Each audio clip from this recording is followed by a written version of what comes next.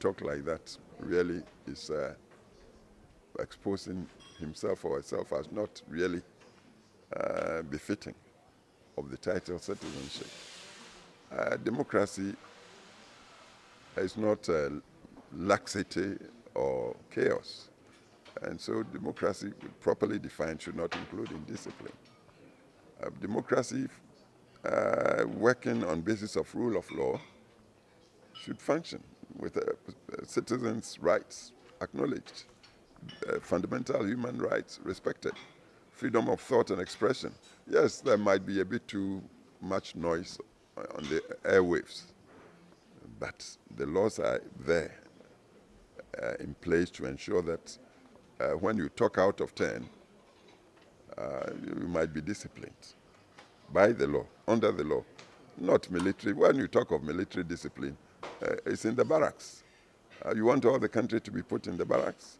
Then I say perhaps uh, you, you, are not uh, you are not confident in your, yourself. Will you sacrifice your right of expression uh, to uh, just being fed like a, a kept, with all due respect, animal? Huh? You want to be put in a golden cage as you sit here, human being. Just because you are in a golden cage every morning, you are fed with something and you are denied the right to express yourself, what you think and what you want to say. Is that what you want to say? So the comparison shouldn't happen. Uh, we believe we can have democracy with development. Uh, we can have democracy with development. That's what I believe is evolving in Ghana, and we should sustain it. Respecting the law uh, and equality before the law, uh, demanding accountability of our governors. Nobody, nobody, whatever is president or however big the person is, should feel uh, entitled to talk down to anybody, not in this country. Uh, so please, we shouldn't compare ourselves with people just looking at the uh, in economic indicators. But you'll be surprised that the freer people are, perhaps the more economy they even make for themselves.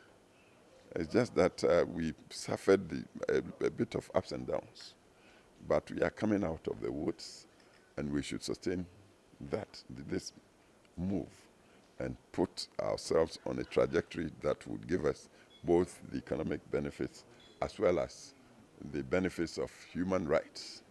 Huh? Everything should be defined on basis of human rights under the law.